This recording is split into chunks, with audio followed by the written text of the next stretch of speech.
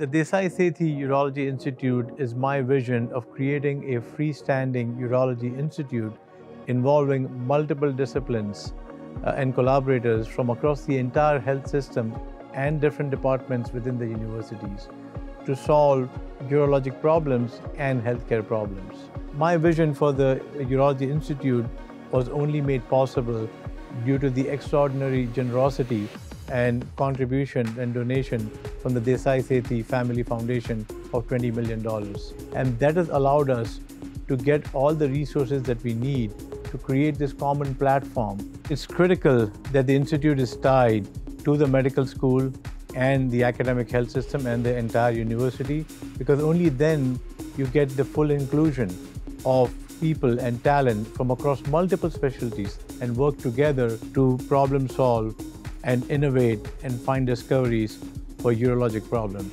As a robotic surgeon, I can tell you that robotic surgery uh, creates a minimally invasive option or a lesser invasive option for common urologic problems, in my case, common urologic cancers, and it significantly decreases or reduces the morbidity of a patient and enhances recovery in many of these patients. We're proud to have published the first US series on focal HIFU. And uh, in this study, what we found was that HIFU is safe and uh, has minimal side effects and very promising oncological outcomes. HIFU can potentially uh, bridge the gap between active surveillance, which is just watching a tumor, and being more aggressive and doing radical treatment, such as radical uh, prostatectomy and radiation therapy. The Desai Urology Institute has allowed me to perform high-quality research that can potentially advance the field of HIFU and focal therapy. The biggest advantage of the Desai Urology Institute and being a part of the UHealth uh, medical system is that we're able to collaborate with other disciplines because we're able to perform not only novel research but also clinical care that goes above and beyond what you'll find at most other cancer centers. We've actually been researching one of the most novel and unique approaches to treating metastatic prostate cancer. Our main focus in treating prostate cancer has always been surgery.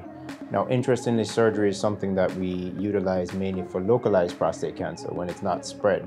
Whereas for metastatic prostate cancer, when it's spread outside of the prostate, the general thinking is that you can't operate on those patients. We are fortunate to be part of a large multi-institutional cooperative group trial, the SWOG 1802 trial, where we are actually investigating the use of surgery in metastatic prostate cancer. There are several things that we have been able to take advantage of with the institutional resources of Desai Sethi, uh, specifically related to investigator-initiated trials for surgery.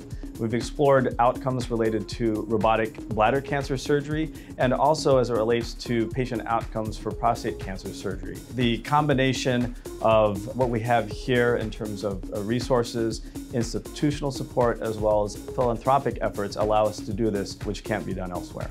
One of the areas that has become a, a big area in prostate cancer is the role of MRI and biomarkers. And we've actually been able to establish two NCI-funded investigator-initiated trials looking at the role of MRI and biomarkers in detecting prostate cancer and also following prostate cancer. So it's a very unique trial that we've actually implemented and designed. And so I think it's going to shed a lot of important information in prostate cancer. The Institute has helped us provide support to be able to conduct research that is important to advance both urology as well as the field of male fertility.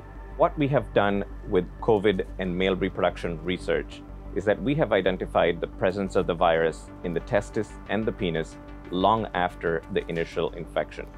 We have found the adverse effects of COVID, the actual virus, on male fertility, sexual dysfunction, but more importantly, we found the safety of COVID vaccines on male fertility. We have proved that the vaccine does not seem to impact male fertility either in the short term or in the long term. We have a specialized mentoring program at the Desai Sethi Urology Institute, specifically geared towards students from underrepresented backgrounds as well as females. It's funded by philanthropic efforts from people in the community. We're able to support students who are interested in urology, provide them with research opportunities so we can train the next generation of urologists. It's well established that racial and ethnic disparities exist in all sorts of conditions, including urologic conditions.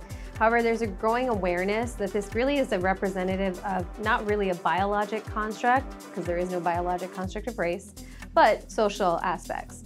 So we need to do the work to understand what are these barriers to care. A lot of studies have shown that female patients are interested and often even delay care because they want same gender uh, providers. So it is crucial to be able to provide that for patients. We care for a unique community in the United States that represents a minority majority population. We work with our community leaders and we engage with community leaders in Miami-Dade County so that we can deliver meaningful care, impactful care in a way that patients feel safe and heard. This institute will allow us to grow further faculty members, to expand on our clinical excellence and improve our access in underserved areas in this community. We also strive to become a regional, national, and a global resource for urology communities across the entire world and a great resource for collaboration to solve common problems.